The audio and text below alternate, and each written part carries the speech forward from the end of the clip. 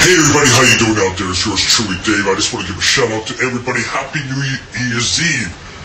Tomorrow's a holiday, but tonight is New Year's Eve. I wish everybody the best of times, the worst of times, the great times.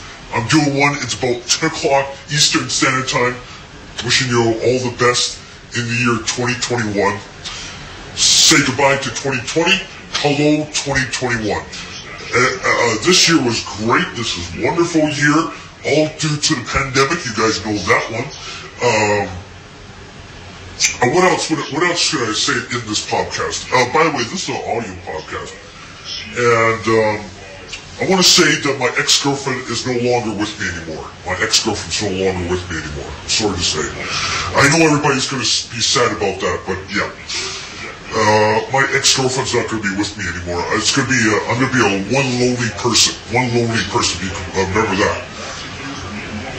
A one lonely person at this uh, great evening, this New Year's Eve evening. A one lonely person in the world.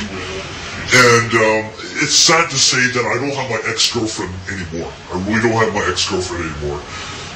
That would be always great, right? If you people were to say to me, that would be great, well, that's great. But my ex-girlfriend's no longer with me. Uh, there's many reasons why she's not with me. There's many reasons. I won't cite them here, but there's many reasons why she's not with me. Um, but I will say this: she's my ex-girlfriend. I'll put that in the title of this uh, of this podcast. And uh, yeah, she's no longer in my life anymore. I'm sorry to say, my ex-girlfriend. We broke up. If you were if you were to say to me, uh, "Did you break up?" Well, we did. We broke up. Uh, we broke up the marriage. We broke up the marriage. We really did. We really, honestly did. We went our separate ways, if you want to put it that way, and we honestly did. Uh, we're just we're just friends now. We're not married. We're just friends now. But we're we we used to be married, but now we're friends now. If you can understand that. So. But we want to become friends. We want to become like girlfriend and boyfriend. That type of friend. Uh, so yes, but I'm quite happy of myself, but my girlfriend could tell you a different story. Uh, but I, I, just want you to know my life has gone great ever since ever since I heard about you guys out there.